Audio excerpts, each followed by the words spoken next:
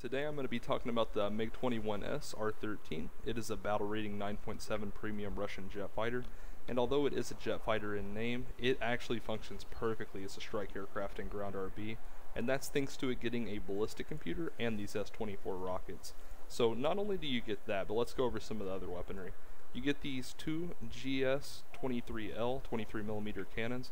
They each have 100 rounds of ammunition in them for a total of 200 you have the option to bring all four of these S24s. If you're playing Air RB, you have uh, option to bring up to four R3S IR missiles. They work pretty much the same as AIM-9Bs. They have 10 Gs of pull maximum. And you have R3R radar missiles, so you can actually get uh, frontal locks on planes in Air RB, and they allow for you to really get some sneaky kills on people not paying attention, or planes that might just not have radar warning receivers to even let them know that's coming. You also have custom loadouts here, so you can do a mixture of both you can bring R3Ss and R24, or sorry, R3Rs on each wing like that. You just do that and hit save and you can select it just like this down here. For ground strike options, you have uh, option of standard unguided bombs, 250 kilograms, or two 500 kilograms, or two incendiary bombs. So you can actually do a custom loadout mixing these with two of those, and it makes for a great AFK base bombing experience if you just want to leisurely grind out the Russian air tree in RB. So now that I've talked about the MiG-21S's armaments, let me talk about another area that it absolutely dominates, and that is flight performance. You have the great nose authority of the MiG-21 frame, and combine that with the 10.3 battle rating MiG-21 SMT's engine to have an excellent aircraft for 9.7. I think the only other aircraft that can produce thrust similar to yours at the battle rating are going to be Milans and J-35As, in which case this goes toe-to-toe -to -toe with them easily and you have other perks like your radar missiles to combat those aircraft with. So now that we've talked about all the things that make this plane great, let's talk about what makes it uh, struggle. It's one con, as I would say. Uh, it does not have countermeasures. So at 9.7, that is somewhat a big deal because you are going to have lots of missiles fired at you. I would say the main thing you have to watch out for in this aircraft is A-10s that are equipped with AIM-9L all-aspect missiles that can pull 30 Gs. My strategy for combating these is basically just to stay far away from the A10 pack at all times. Off the start of the game, you can go high, climb left in RB, and just try to dive behind the A10 pack, get some kills, and then just get out of there using your excellent uh, thrust.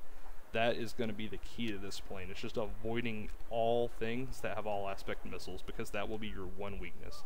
If you so overall, it is a fantastic plane. Highly recommend looking out for it when it's 50% off in the upcoming December sale. And thanks for watching this. Enjoy the following gameplay.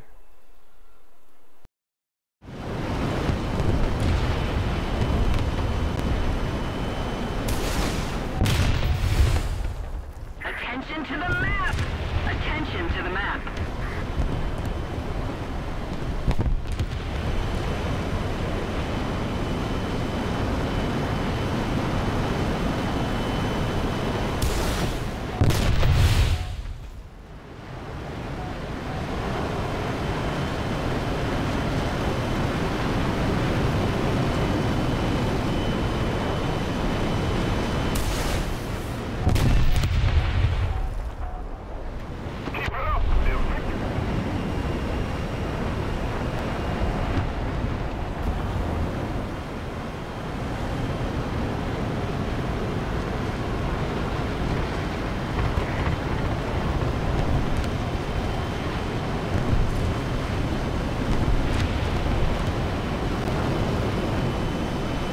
Pressure on.